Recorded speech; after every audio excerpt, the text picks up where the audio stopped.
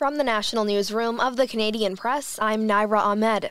Prime Minister Justin Trudeau says India misjudged in believing it could target Canadians with criminal acts, as both countries have expelled six diplomats. Trudeau is commenting after the RCMP announced the extraordinary step of warning the public about safety threats the force links to Indian government officials.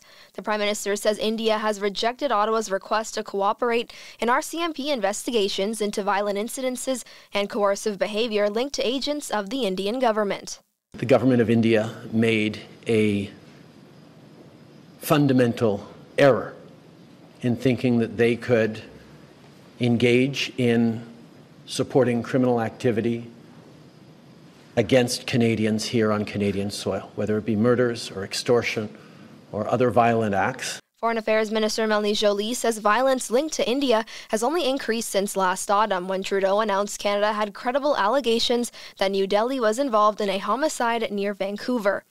BC Premier David Eby commented, saying he's deeply concerned about the safety of the Sikh community. Eby called the RCMP's revelations unprecedented, noting, quote, violent political acts shouldn't take place here, and that's why it's so serious. Conservative leader Pierre Poilievre called the RCMP's allegations extremely concerning and levied his own accusations at Trudeau and his government for not taking national security and foreign interference seriously. Students have returned to class today at a Jewish girls' school that was the target of a weekend shooting in Toronto's North End. The executive director of Bais, Hayamushka, says 250 schoolgirls have returned after the building was hit by gunfire Saturday. The director says people in the community are concerned by the shooting, but agree that reopening the school was the right thing to do. Toronto police are working to identify those behind the attack. The school was also the target of another shooting in May, and police say they're trying to determine if both incidents are connected. Brenda Molina Navidad, The Canadian Press, Toronto. Abroad, Israeli Prime Minister Benjamin Netanyahu is reasserting that United Nations peacekeepers must leave southern Lebanon, where the Israeli military is operating. The peacekeepers are part of the United Nations interim force in Lebanon, who have been patrolling the border area between Lebanon and Israel for nearly 50 years. Netanyahu says Hezbollah uses the UN group's facilities and positions as cover.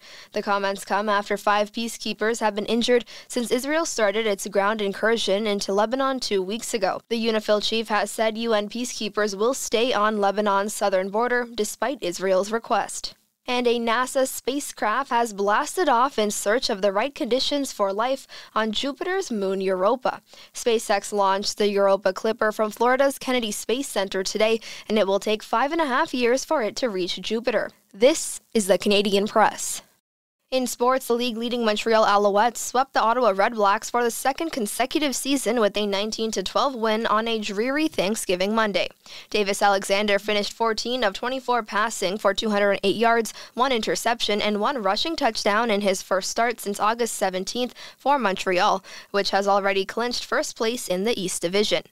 Meanwhile, Josh Norris capped a two goal effort with the game winning goal 57 seconds into overtime, and the Ottawa Senators defeated the Los Angeles Kings 8 7. Zach MacEwen also had a pair for the Senators, with Jake Sanderson, Drake Batherson, Thomas Chabot, and Claude Giroux also chipping in. The Montreal Canadiens host the Pittsburgh Penguins tonight, looking to start the year winning three out of four games. Montreal is coming off a 4 1 win over Ottawa and defeated Toronto 1 0 in its season opener. The Habs' lone defeat was a 6 4 loss to Boston last Thursday. And the defending Stanley Cup champions, the Florida Panthers, beat the Boston Bruins 4 3.